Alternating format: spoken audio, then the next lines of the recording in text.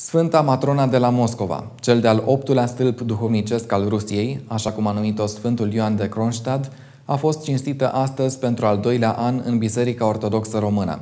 Sfânta se bucură de o cinstire deosebită atât în Rusia cât și în alte țări din lumea ortodoxă. Deși a venit pe lume fără vedere și nu a mai putut merge de la vârsta de 17 ani, datorită vieții sale ascetice și rugăciunii necontenite, Dumnezeu a învrednicit-o de darurile vederii înainte și al facerii de minuni. Astăzi, Sfânta Matrona a fost cinstită în mod deosebit la Biserica Sfântul Nicolae Tabacu, locaș de cult care găzduiește comunitatea rusă din capitală.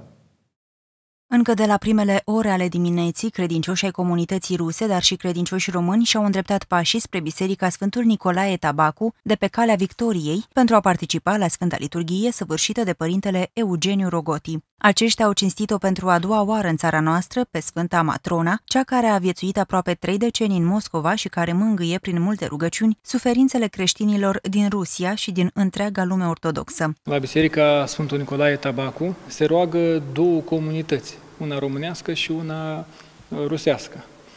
E vorba de credincioși uh, din Rusia veniți pentru o perioadă de stagiu sau de serviciu în România, și care au nevoie de un loc în care să fie săvârșite slujbe sau să se roage în limba maternă.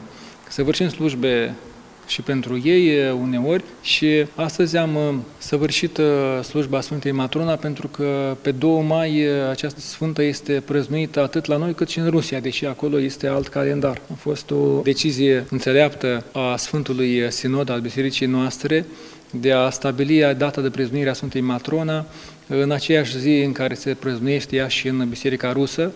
În felul acesta, Sfânta Matrona îi unește pe toți ortodoxii, indiferent de stilul calendaristic pe care îl țin în bisericile lor de acasă. Sfânta Matrona îi unește și pe toți cei care au fost vreodată și uh, s-au închinat la moaștele ei la Moscova, dintre care unii au ales să vină astăzi uh, să o cinstească la biserica noastră. Oamenii o prețuiesc și o iubesc și acum atât de mult, mai ales că oamenii au primit uh, de la Sfânta Matrona și prin rugăciunile ei ajutor sufletesc, ajutor trupesc, au fost foarte multe vindecări la moaștele Sfintei Matrona și oamenii vin și mulțumesc de fiecare dată când au ocazia dar mai ales în ziua de pomenire a ei. Sfânta Matrona s-a mutat la Domnul în data de 2 mai 1952. În anul 1998 au fost descoperite moaștele sale, care răspândeau bună mireasmă, iar în anul următor a fost trecută în rândul sfinților de Biserica Ortodoxă Rusă. La Biserica Sfântul Nicolae Tabacu se află și un fragment din moaștele Sfântului Serafim de Sarov, adus în România de prefericitul părinte Kiril, patriarhul Moscovei și al întregii Rusii, în urmă cu doi ani.